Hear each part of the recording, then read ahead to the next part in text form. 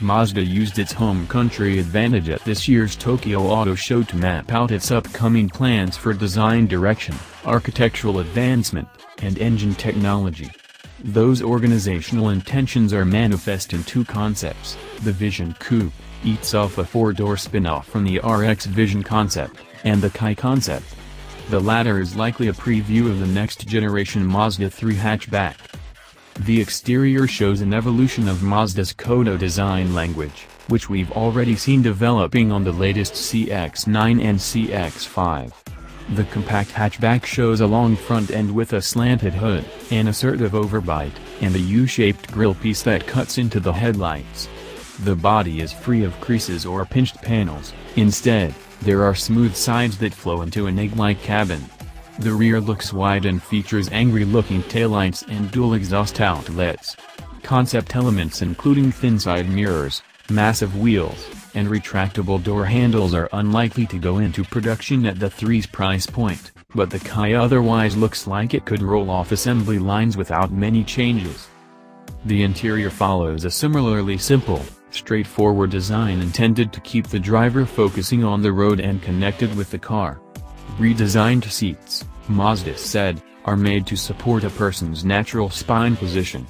There is a noticeable lack of a tablet-style screen inside, something that has become a staple in Mazda's recent vehicles.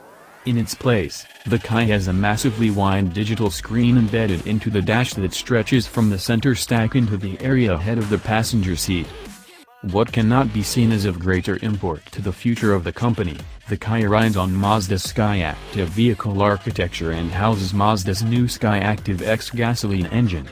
The unibody architecture includes designs built to evenly disperse impact energy in a crash to ensure occupant safety, as well as lighter-weight body elements to enhance driving dynamics.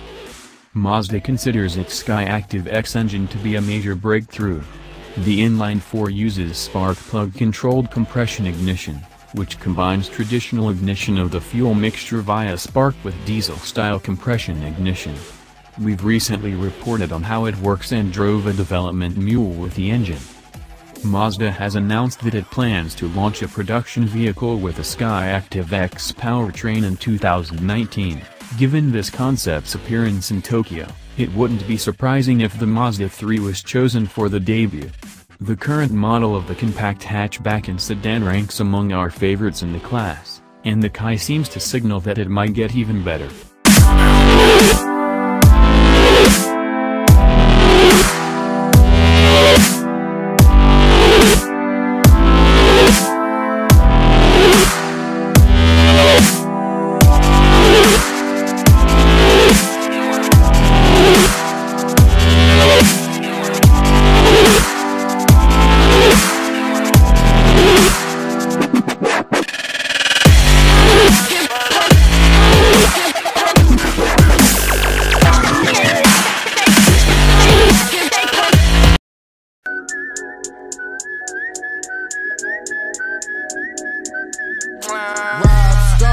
Two damn phones, Babylon's came.